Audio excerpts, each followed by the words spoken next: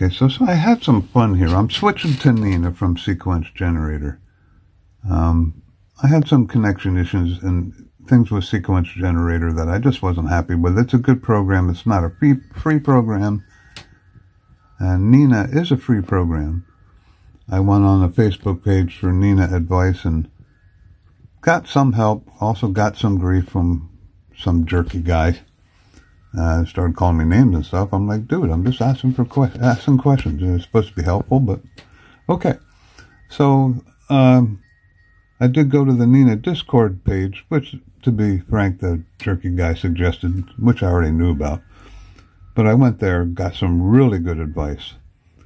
So I got everything hooked up, and I just wanted to make a quick video on how to connect your Nexdome uh, to Nina to get it to work. And I've, I've been fighting with this for about two days.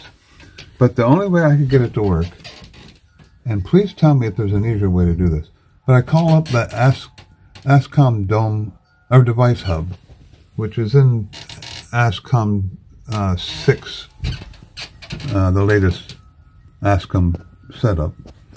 And I connected the telescope and the dome here first using the Beaver Dome, and then I hit the sync to telescope button, or slave to telescope. So basically at that point, I could move the scope around using, using um, EQ mod, and the, the dome would follow. But I wanted to do everything through Nina just to make sure I didn't have any issues. Let me bring Nina back up here.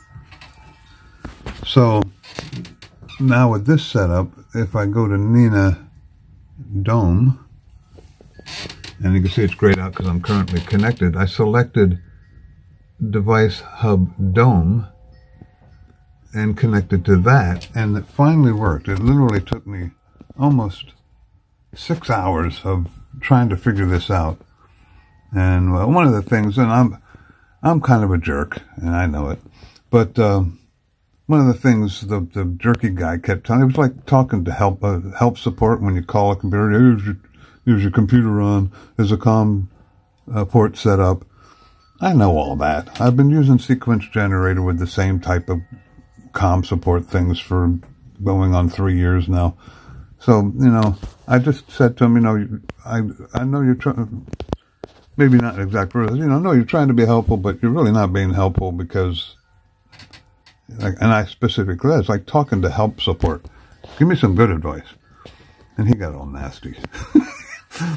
Whatever.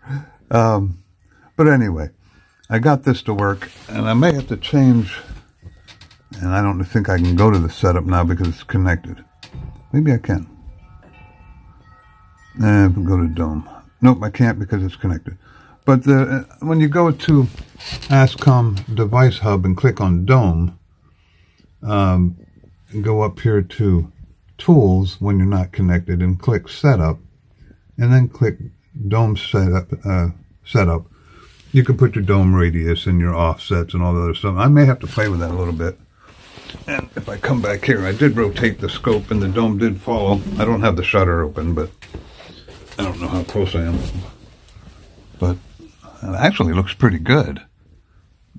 It might be a little short, because I got more room on this side than on this side. But I don't I don't usually rotate too much further than that, so I may have to play with the settings a little bit, but that's actually pretty good. So I hope this is helpful because I could not find any guidance with the Nexdome and Nina videos or anything. So if you want, you're going to end it now, but I'll run through this real quick again. So, and I'll start at the beginning here real quick. If you, ooh, that didn't work. If you go to Device Manager, ports, that's what the, the COM port 4, that's what will show up. You should have Silicon Labs CP210X USB to UART. That's what um, the Nexdome control board here is, is used to connect to the computer. So you should have that. Notice it says COM4. I know all that stuff. Yeah. People think everybody's ignorant. But uh, once you do that, you download ASCOM Device Hub, call it up. You know what? I'm going to go ahead. I know this is going to make the video long, and I apologize. I'm going to go ahead and disconnect. I haven't tried disconnecting this. Disconnect dome. I know the dome disconnect. Oh, that went fast. I have disconnected the dome before, and it took a long time. And I'm going to disconnect the telescope. Okay, so I'm going to close that back up. Now notice it didn't disconnect it here, so you have to disconnect the dome. This takes a couple seconds. I've done this a couple times now. So disconnect the dome. Come on, there it goes, okay. And disconnect the telescope, that usually goes a little faster. of course it's going to prove me wrong.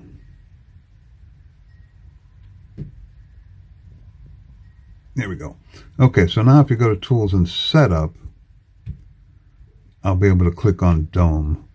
And there's the settings. This is the standard offset settings. I have to play around with uh, the scope position north-south. I think I need to move it a little higher than that, but I'll have to uh, play with it a little bit. Maybe do the dome radius to 2,000 also. I think that might be a little low. I think 2,000 closer. But that's what you got to do. Um, once you get your setup done, uh, connect the telescope, connect the dome. That was fast. And then you can go to Nina. And I haven't had any problems connecting the telescope. So the, the telescope's been connecting pretty well. Success. It's the dome that's been kicking my butt. And you notice I got Device Hub set up there. Um, I haven't really messed with the settings here because you set everything up in the Dome Hub. But when you click that and bang, it, it connects right on now. One of the things I did learn, oh, I better show you that too. Um, uh, nuts. If you lower Device Hub, it disappears. Don't ask me why. So I'm going to set the phone down for a second. I have to go to Task Manager. Not sure why this does this, but if you go back and double click Device Hub, there it comes up. Um, click Save to Slave to Telescope here. And then that slaves everything. And then if you go back to Nina, you don't have to click this because it comes back and says, well, it's already done. It says it's already following. You don't have to click that. So it works really well. Um, thank you to the people on um, the Nina. Uh, I can't remember the name, but the Nina page, not on Facebook, but the other one. Uh, they were very helpful. Uh, gave me some really good advice, but I said I would make a video and this is eight minutes long, and I rambled a bit, but hopefully this is helpful. I'm going to put this on my Greybeards Astro.